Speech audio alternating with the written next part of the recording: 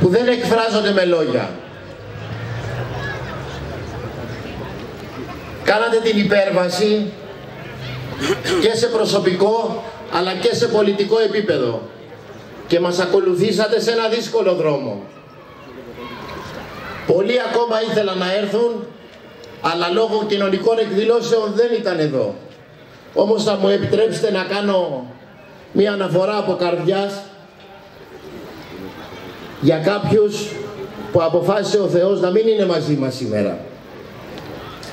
Και θεωρώ ότι στο χρωστάω. Θα ήθελα να είναι μαζί μας, δεν είναι.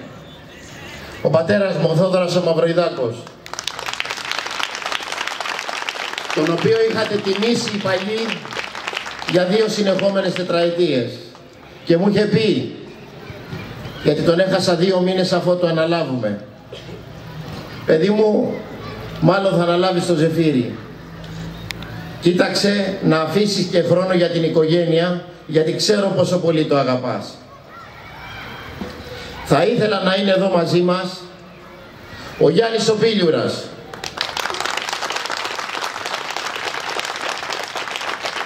Ένας φίλος και ένας αγωνιστής.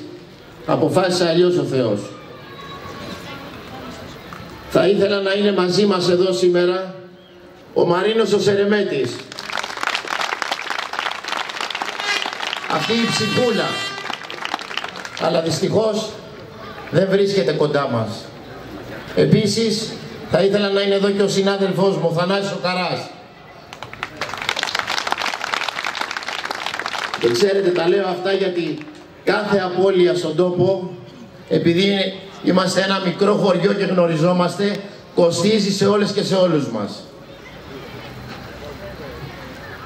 Πιστεύω από εκεί ψηλά να μας βλέπουν, να μας ακούν και να είναι περήφανοι για μας. Κυρίες και κύριοι, πριν από τέσσερα χρόνια περίπου, λίγο παραπάνω, αποφασίσατε ότι τούτο τον τόπο θα τον διοικήσει ο Δήμαρχός μας, ο Χρήστος ο Παππούς.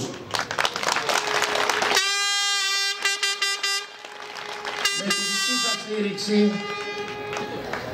εκλέχθηκα Δημοτικός Σύμβουλος και ο Δήμαρχος με όρισε αντιδήμαρχο του τόπου μας.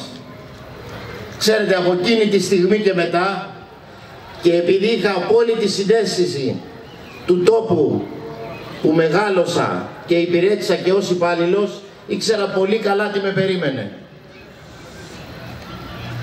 Όμως ήξερα επίσης πολύ καλά ότι δεν θα περάσει μέρα που δεν θα το παλέψω. Δεν θα περάσει ώρα που δεν θα προσπαθήσω.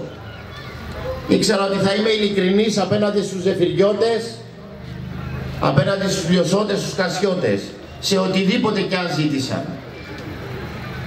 Γιατί αυτός ο τόπος έχει αγωνιστές, έχει βιοπαλαιστές που θέλουν να τους κοιτάς στα μάτια και να τους λες την αλήθεια και να τους δείχνεις πραγματικά ότι αγωνίζεσαι για αυτούς. Και φυσικά με έναν τέτοιο δήμαρχο, με τον δήμαρχό μας, με τον Χρήστο τον Παππού, δεν θα μπορούσε να είναι διαφορετικά. Γιατί μας είχε, όπως λένε, κοινό στο ένα πόδι όλους. Και έκανε πολύ καλά και βλέπαμε μέρα με τη μέρα να πετυχαίνει ο τόπος, να πετυχαίνει ο Δήμος, να γίνονται πράγματα σημαντικά. Εμείς να ζητάμε ακόμα περισσότερα και ο Δήμαρχος να απαιτεί και να κερδίζει γιατί είναι ο Δήμαρχος της νίκης ακόμα περισσότερα για τον τόπο.